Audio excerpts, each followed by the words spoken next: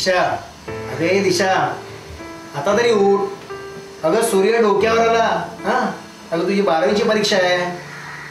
झोपू दे हो बाबा. थोड्या वेळाने उठते मी.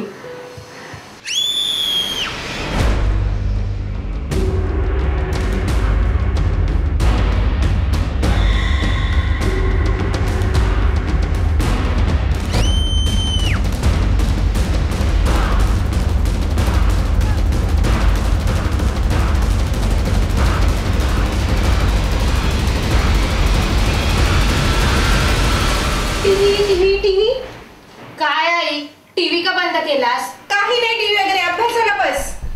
ते काय नाही अभ्यास काय नंतर पण होईल. अगं तुझं टीव्ही महत्त्वाचा की तुझा अभ्यास महत्त्वाचा? परीक्षा तोंडावर आली आहे तुला काहीच कशी काळजी वाटत नाही? काय गे सुप्रिया? का राबवलीस एवढी हिच्यावर? हिचं आपलं नेहमीच किती समजवणार हो ह्या मुलीला? आई खूप बोललीस आता. अगं पण बघितलं? अगं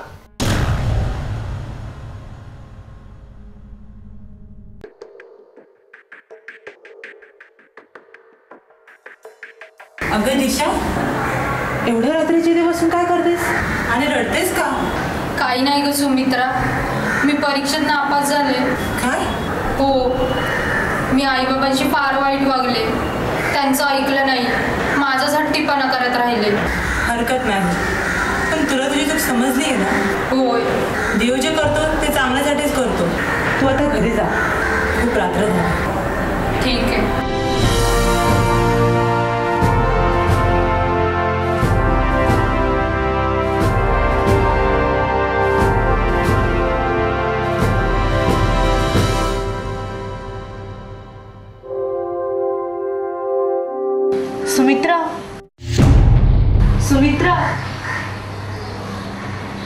मी इथं कशी आली?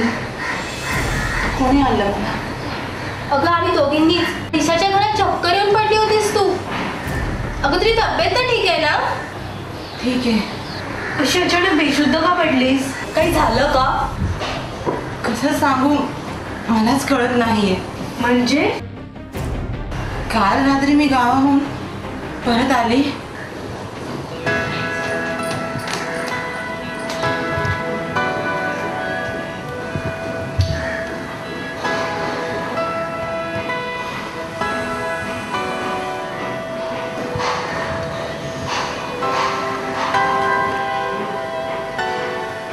काकी दिशा कुठे आहे? का अहो काल रात्री जिन्यावर बसून ती रडत होती. मी तिला घरी जायला सांगितलं. कुठे आहे ती? हे कसं शक्य आहे?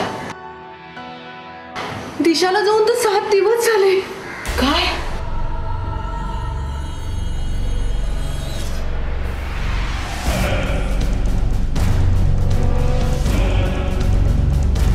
होय सुमित्रा. तिने तिने जीव दिला. तिने आमच्या मनाचा प्रतिकार सुद्धा केला नाही तिने असं का केलं? असं का केलं तिने? तिने असं का केलं?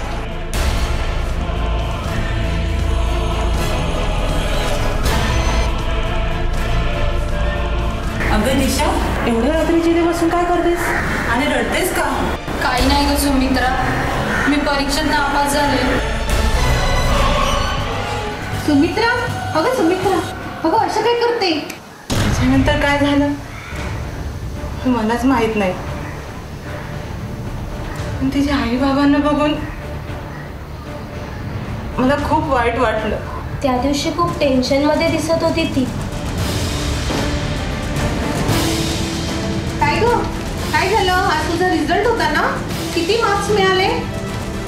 आई मी नापास झाले ग. काय? तुला बऱ्याच वेळा मी समजवण्याचा प्रयत्न केला पण व्हायचं तेच झालं शेवटी. आता तुझ्या बाबांना किती दुःख होईल. आता तुमच्या बाबांना किती दुःख होईल. त्याचा तू कधी विचार केला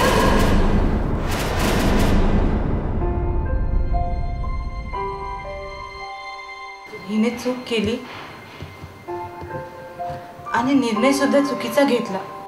पण तिचे आई बाबा किमान त्यांचा तरी विचार करायला हवा होता तिने. खरं बोलतेस तू. रागाच्या भरात स्वतःच्याच आयुष्याचं वाटोळ करून बसली. बस. देव तिच्या आत्म्याला शांती देव.